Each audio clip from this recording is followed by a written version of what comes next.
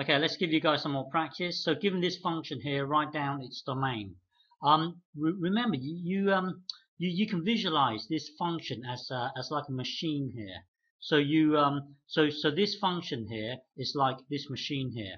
And the domain is what you can put into the machine without it breaking down. So, um, so if, if you, you, if you remember, you cannot square root a, uh, a negative number and you cannot divide uh, something over zero. So whenever you have whenever you have this or, or a negative number into here, then it breaks down. You see, if, if you um if you look at this function here, this function is like a, a machine here.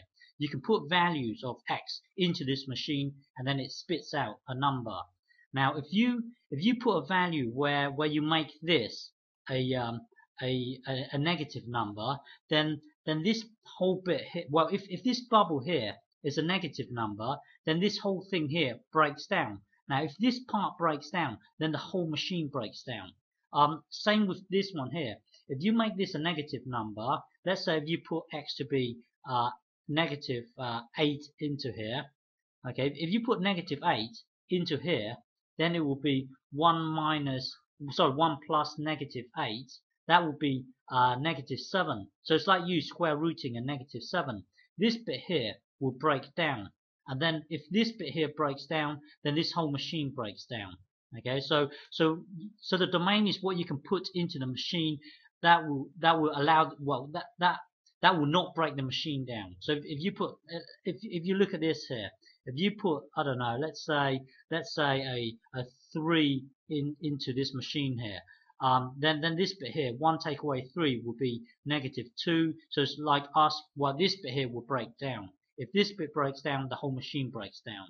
Okay, so so the domain is what you can put into the machine that where where the machine will still work.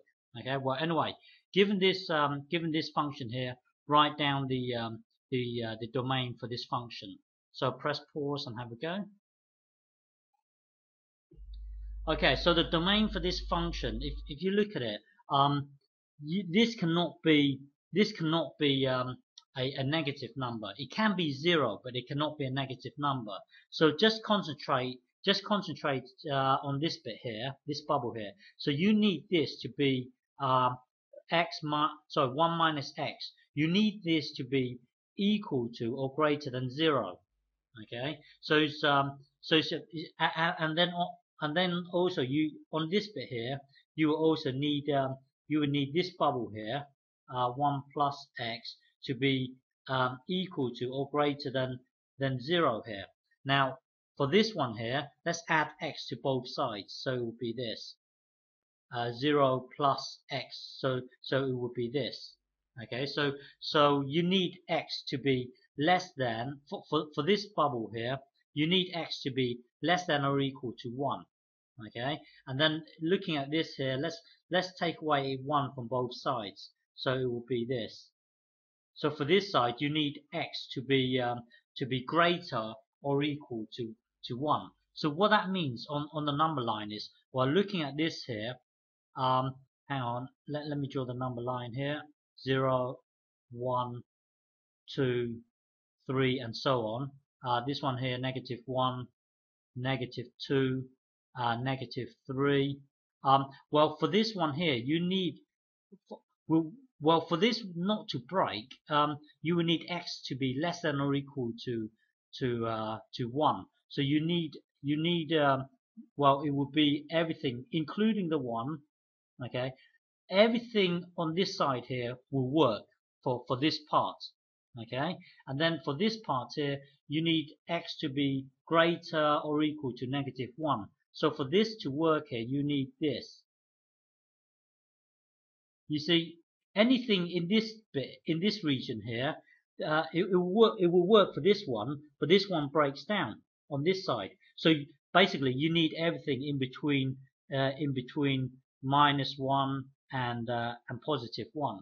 So the domain, the domain for this function here, the domain for this function is uh, is is x uh, x to be well well let's let's stick to to our normal convention the domain would be would be um, would be this negative one comma positive one okay so this here is your domain Okay.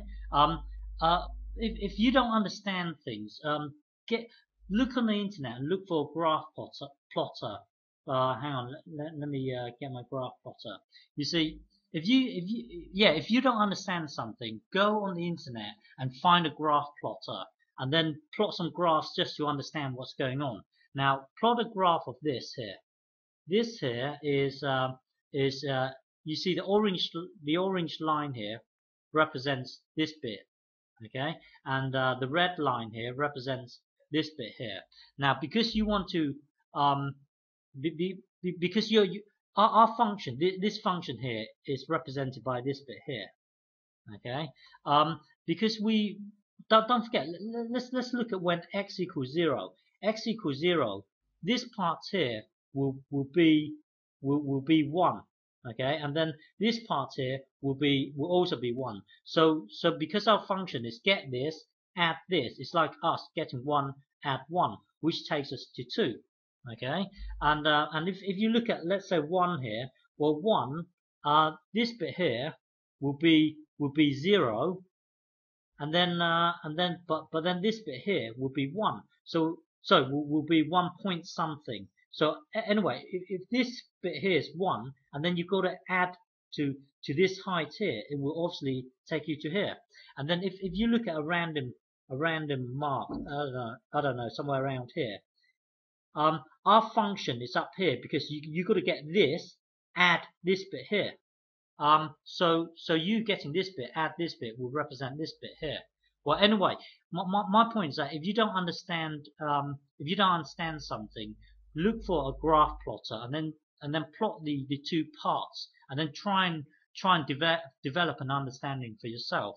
Okay. Um. Well, if also if um if you look at this here, um if you want to find out the domain for for this, well if you want to find out the domain for the whole function here, well, what what what you have well what you have to bear in mind is that you work out the domain for this one here. Let let's say it's this here. This is a domain for, for this part here, and then you work out the domain for this part here. Well, the domain for the whole function would be the intersection of the two domains.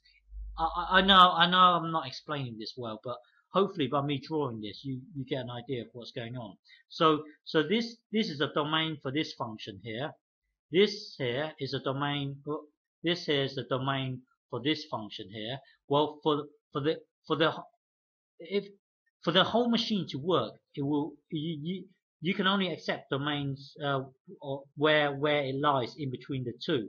Okay, if you select somewhere over here, then yes, it will work for this. Um, it will work for this part, but it won't work for this. So the so this bit breaks down. Therefore, the whole machine breaks down.